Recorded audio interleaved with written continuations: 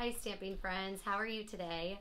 I'm super excited about this card kit and I have no idea what or how to tell you about it. So I'm going to be brief. Um, as you see, I have four cards. I've put them together in a kit.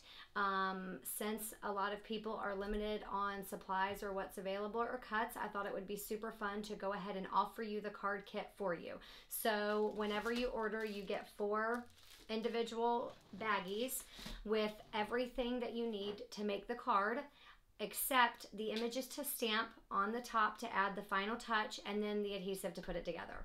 So I'm really excited. I really am hoping to um, do a virtual Zoom with everyone who orders kits so we can craft together and fellowship and then put these super fun cards together. So if you'd like to learn more, go to my blog and check it out and contact me today. Until then, I hope you flourish.